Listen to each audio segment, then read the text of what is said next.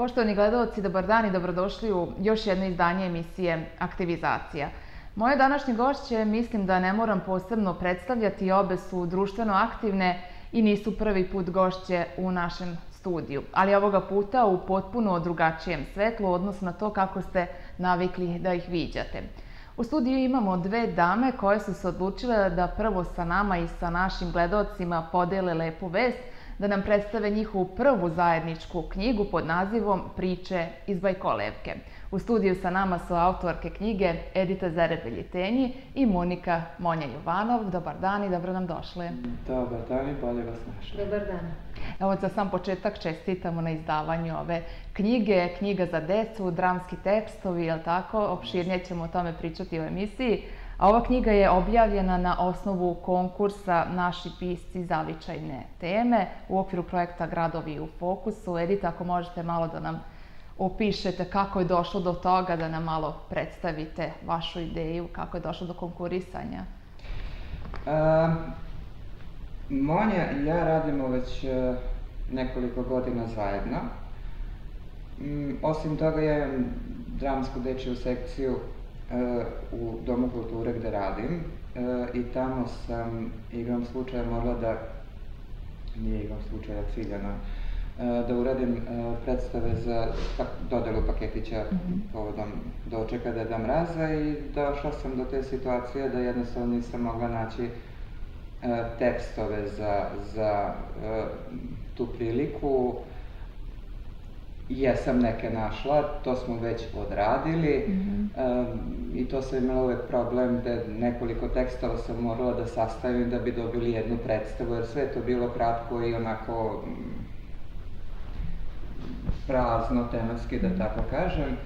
A u, u mojoj grupi ima mnogo devojaka, malo dečaka, Tako da je to bio drugi problem i onda kako da sve to rešimo, onda smo došli do ideje da, da osmislimo predstave i da napišemo predstave. Tako da moram da kažem da, da e, bez te dece ovi dramski tekstovi ne bi ni postojali i pošto nažalost u knjigu nije ušlo ja bi sad ako može da iskoristim Naravno. priliku i morala sam da napravim puškicu jer neću nekog da izostavim, ali zahvaljujem klinicima koji su svojim idejama doprineli da se, da se sve ovo realizuje. To je Saška Burjanov, Ivana Tortovski, Danijela Pejn, Teodora Džiburski, Katarina Ćurčić, Biljana Štefkić, David Tanasin, Dajana Pizon, Branko Duin, Jelena Felbab, Nataša Koledin, Danijel Filep, Maja Joanin, Dragana Kiselički i Milica Petrović. Jedno veliko hvala e, za to što su mi bili od pomoći uh, i da budem iskrena, kad uh, je već i treća, uh, treći tekst napisan, onda sam sedela i nešto razmišljala šta da radim, da da sačekam još koju godinu ovo ono, pa sam se setila da i Monja piše tekstove, a usput je napisala tekst za jednu predstavu koju nas dve igramo, e, i onda sam joj dala predlog da krenemo da razmišljamo uopšte da te naše tekstove negde sjedinimo i da, da izdamo jednu knjigu. I onda umeđu vremenu se pojavio ovaj konkurs i tako smo onda nas dve brže bolje iskoristile priliku i prijavili smo se. Naravno da jesmo. Tako da smo tako došle do... I plod vašeg rada, evo tu je na stolu, je li tako? Priče iz Bajkolevke, vrlo originalan, jedinstven naziv za jednu knjigu. Monja, ako možete da nam kažete odakle ideja, zašto baš Bajkolevka? mnogo toga vezanog za ovu knjigu i uopšte za našu saradnju je u isto vreme i ciljana stvar i nešto spontano. I onako lepo i lako se dogovaramo, jednostavno pojavila se ta reč, to je nova reč koju smo negde Edita i ja izmislile, to je reč koju možete sami da protumačite, to je recimo kolevka u kojoj spavaju bajke, a isto tako to može da bude i levak iz koga cure bajke. E, mi smo zamolile Jelfridu Dragić da nam uradi ilustracije za knjigu, što je ona rado prihvatila. Nije znala o, ništa osim toga da su dramski tekstovi za decu i napravila je crtež koji se fantastično uklopio u bajkolevku, tako da je to još jedna u nizu spontanosti koja nam je išla na ruku. Od, od kad sarađujete ovaj sa editom? Pa ja bih rekla od uvek, Ali što ona kaže, tako se osjećam par godina. Dobro, vi ste generacija, je li tako? Jeste, mi smo generacija, svaka je radila u nekom svom faku i sama za sebe kad opet je to bilo i ciljano i spontano, da se jednostavno spojilo, ona je dramska umetnica, ja pravim pozorišne lutke, to su dve stvari koje su po meni nerazvojne, usko idu jedna uz drugu i počeli smo da radimo sa decom zajedno. A radile smo posebno svaka za sebe. Odakle to oko entuzijazma u današnjem svetu da se eto upravo deci da, da tako nešto uradite? Da li, ti, da li je eto konkretno za tebe e, bio povod i motiv to što radiš na dečijem odeljenju u Narodnoj biblioteci, da li si onda mogla možda videti šta ono što deci nedostaje? Pa jeste, jeste to jedan od motiva, jer sam se tu na neki način upoznala sa decom.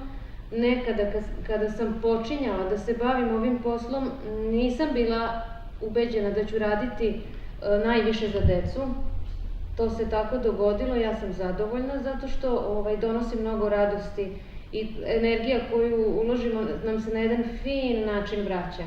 Tako da je lepo, zahtevno, teško, odgovorno, ali kažem veliko je zadovoljstvo i privilegija biti sa decom. Priče iz Bajkolevke su zbirka od pet scenskih, jel tako, tekstova za decu. Edita, vi ste napisali tri teksta, e, Monja dva. E, u čemu ste pisale? Koja je prva da krene? A, može Edith. uh, što sam rekla da, da su moji tekstovi pisani ciljano, na kraju krajeva mogu oni da se prerade i za druge prilike, ne mora to mm -hmm. da mhm. bude priča za Deda Mraza. Um, ono što je meni uvijek bilo interesantno jeste svet bajki. Uh, bajke su uvek tu negde oko nas da li, da li će neko od roditelja detetu da pročita, da li će to dete da pogleda neki e, Disneyev crtač ili bilo e, čiji crtač e, i mi ga rado i dan danas pogledamo, a ti neki klasici koji su koji su prisutni u našim jel, dečijim svakodnevicama, mislila sam da to vredi iskoristiti i da se naprave neke šaljive situacije, tako da se pojavi kod mene i Snežana i Crvenka, pa i Vuk i Tri praseta, pojavi se i Peter Pan u jednom dramskom tekstu, tako da e, volela sam, volim u suštini da se igram sa, sa tim likovima, jer daju strašno mnogo mogućnosti i zahvalni su za te neke dramske igre da možemo reći da su ove vaše bajke oslonjene na stvarnost, je li tako? na stvarne bajke. na stvarne bajke. Na svakodnevni život ste povezali sa likovima iz bajke. Ja sam se trudila, u svaka, svaka tri teksta se pojavljuje realnost, da ispreplićem realnosti i, i bajku, jer to mi još više daje bogatiji utisak, a nije sam utisak u pitanju, nego mi daje mogućnost da povežem današnju decu i nekadašnju decu. Jer, kao što je Monja rekla, krenuli smo da radimo odvojeno, u stvari svako je radila na svoju stranu i to neko moje početno iskustvo kada je ta radionica snova krenula sa radom davne 2004. godine.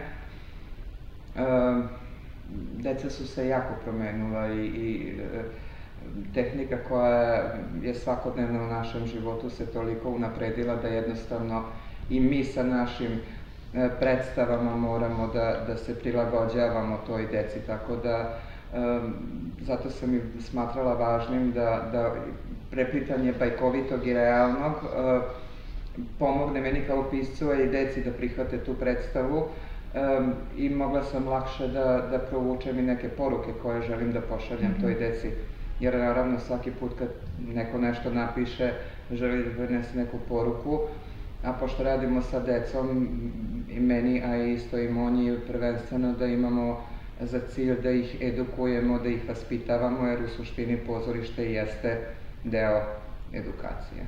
Dobro. Jedna bajka jeste posvećena, je li tako, lepom ponašanju u pozorištu? E, jeste, jeste. E, I to moram da napomenem da ne znamo da se ponašamo, ne samo da se deca ne znaju ponašati, nego već naša generacija ne zna da se ponaša, jednostavno smo izgubili neke potrebe da odlazimo u pozorište, izgubili smo volju da, da cenimo tu ustanovu, um, jede se u pozorištu, fotografiše se, um, pričamo dok traje predstava, sve što smeta meni kao publici, smeta meni kao glumcu. Um, I mislimo da treba vaspitavati do decu da se u pozorište ide lepo obučen, uh, treba da znaju kulturno ponašanje, uh, kako ne bi smetali nikom, kako bi uživali u tome šta gledaju. I čim, čim mi damo uh, na sebe, dajemo na instituciju gde ćemo otići tako Da čujemo iz Monjinog ugla isto po čemu su ove dramske bajke drugačije od Dobro, ostalih. da, ja sam dva teksta su ovde objavljena. Oba govore otprilike negde o čuvanju prirode, zaštiti prirode, o prijateljstvu. Specifično je to što e, životinje i biljke imaju ljudske osobine. Znači ja sam im dala ljudske osobine i one progovaraju o onome što ih tišti. O tome kako ih čovek ophodi prema njima i o tome kako pokušavaju da shvate ovaj svet. E, naravno, ja sam želela da jednu poruku e, prenesem deci i jednu pouku.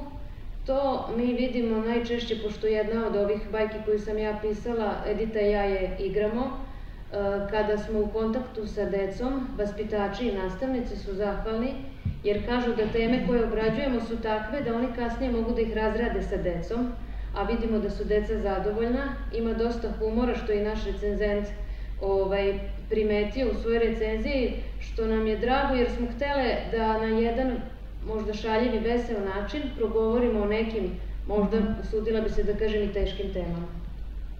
E, dobro. A posebnu vrednost ovim dramskim delima daju i komika i humor, kao što ste rekli, je li tako? Jeste. Najmlađem uzrastu, što znači da je zasnovan na karakterističnim imenima likova. E, kao što si rekla, priče iz Bajkolevke jasno iskazuju svest o potrebi o zaštiti životne sredine, a ono što je bitno, ove priče nisu samo napisane. Vi njih igrate, ali tako, i to u, u okviru udruženja građana e, Radionica radionica snova, koja postoje od 2004. kao što je Edita rekla. Gde ste sve igrali, kakve su reakcije, kakvi su planovi? Pa sad razmišljam, postavila si nam pitanje e, ka, kako smo počeli, kad smo počeli da sarađujemo i sad razmišljam celo vreme i setila sam se, spremala, išli smo, igrala sam neku monodramu. Zmajeve. Zmajevi, dečije igre i ti Jeste. mi pomogla. E, to nam je bila kao neka prva saradnja. Od onda sarađujemo i, i trudimo se da e, ono što radimo budu naši tekstovi. I ići ćemo na to, e, s tim da tako i lakše prenosimo našu poruku. Da. A i dobar smo tim jer je prosto, prosto Monja je ta koja voli sve u konac, a ja sam ta koja volim Suprotnosti se privlače, ali tako? Nas dve smo Tako dokaz da se suprotnosti stvarno privlače i sada evo ova knjiga je recimo jedna tačka u kojoj su se te suprotnosti srele i naslonile lepo i nežno jedna na drugu, ja bi to tako rekla. A za koga je zapravo ova knjiga namenjena? Da li vaspitačima Svima. ili deci? Svak, e, svima koji pronađu decu, dete u sebi. E, to može biti knjiga i za odrasle, koliko sam primetila, oni koji su i čitali tekstova i gledali, pošto Ribicu i Moram igramo nazve, to je naša jedna od aktualnih predstava koja je namenjena vrtiću i prvom i drugom razredu. Um, a ove tri, e, tri teksta koja sam ja radila, to su igrala deca u Domu kulture um, i publika i odrasli i deca su uživala u, u priči, tako da, pošto ne da se hvalim jer je naša knjiga, ali jeste, imam umora u njoj, tako da zabavna je za svakog ko čita. I, i opet da ne bude neka hvala, ali e, svi su tekstovi slojeviti. Znači ako zaronite malo dublje, odrasli mogu da, da pronađu i poruku koja je upućena njima. A na tom nekom prvom sloju deca mogu, eto kažemo, i kroz taj naš humor da uživaju i kroz te in- interesantne scene. Ovaj, tako da smo eto jednostavno napisali nešto u čemu bi mogli, kome je namenjeno, bilo je pitanje i slažem se sa Editom, svakome ko pronađe dete u sebi ili sebe u detetu ili kako god hoćete, znači onome ko se pronađe u knjizi njemu je namenjeno. A inače, pitanje, nismo odgovorili na konkretno pitanje, gde igramo predstave, pa gde god nas prime. Gde ste do sad? E, igrale smo pa po celoj Vojvodini, mislim, da. sad da ne ređemo nasledna mesta. E, imamo dobre, dobru saradnju sa velikim brojem škola e, po celoj Vojvodini. Imamo malo i iskustva još iz nekog perioda kad se nis, nas dve nismo spojile Ja igrala sam u Mađarskoj i igrane su na raznim festivalima te neke naše predstave, tako da... Kada ste već da... spomenuli Mađarsku, bitno je istaći da su ove predstave dvojezične, tako igrate i na srpskom i na mađarskom jeziku. Ono što nas dve radimo, to je na oba jezika, ista predstava i to insistiramo na tome, jer pošto su predstave savremena drama, onda želimo da deca obe nacionalnosti mogu, imaju prilike da i čuju i pročitaju i vide i razumeju.